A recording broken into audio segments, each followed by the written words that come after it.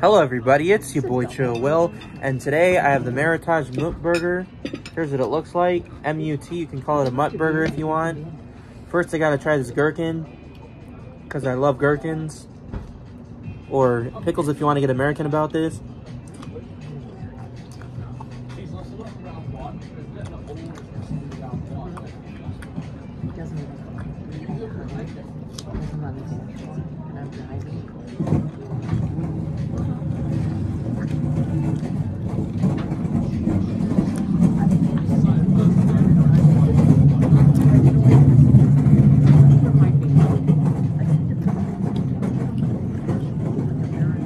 And this burger has two patties, a bun, and more.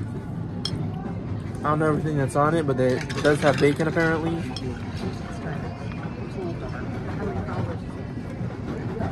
Three. I don't think many more.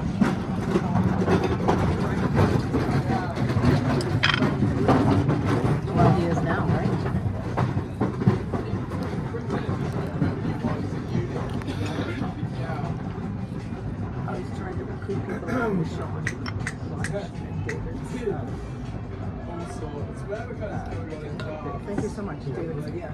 I was like, I go, listen, you don't have to come. It's not, it's not anything crazy, but nice. Okay. see you. I think it's important. Here's what it looks like, and Like, John,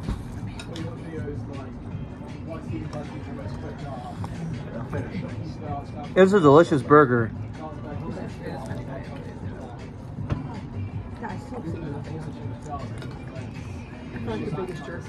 It was kind of spicy though.